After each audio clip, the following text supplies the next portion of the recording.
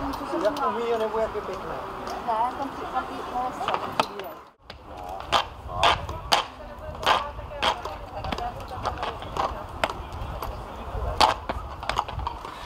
Dneska otevíráme na střeše krásnou výstavu, která se týká staroklabuského koně a na 21 panelů vlastně ukazujeme celou historii vlastně kladrub, hřebčín a kladruby a historii vlastně také staroklabuského koně.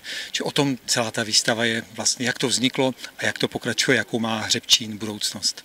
Výstava je o národním hřebčíně Kladruby nad Labem.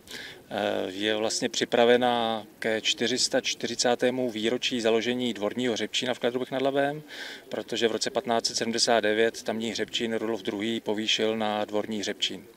Takže výstava je jednak o hřebčíně jako takovém, je o jeho historii, je o starokladrubských koních, ale také je o krajině hřebčína, kterou nazýváme Krajina prochov a výcvik ceremoniálních kočárových koní v Kladrubech nad Labem. A tento statek nebo tato krajina byla v roce 2018 Českou, republiku, Českou republikou nominována na seznam světového dědictví UNESCO. Návštěvníci právě uvidí ty nejkrásnější příběhy těch koní, uvidí tam nádherné fotografie, uvidí příběh vlastně Kladrubské krajiny, která má šanci být zapsána do UNESCO a uvidí vlastně ty krásné fotografie, které jsou s tímto spojeny.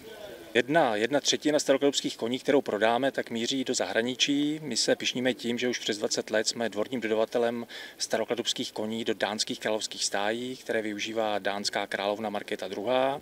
Vedle toho ještě koně dodáváme pro švédskou královskou jezdeckou gardu, ale tam jsou starokladrubští koně využívání pod sedlem, nikoliv jako kočárový koně a jezdí na nich takzvaní fanfároví trumpetisté. Nicméně dále dodáváme i například do Rakouska, Německa, Polska, a starokladské koně využívají i jezdci spřežení, pro, se kterými se účastní v moderních soutěžích spřežení.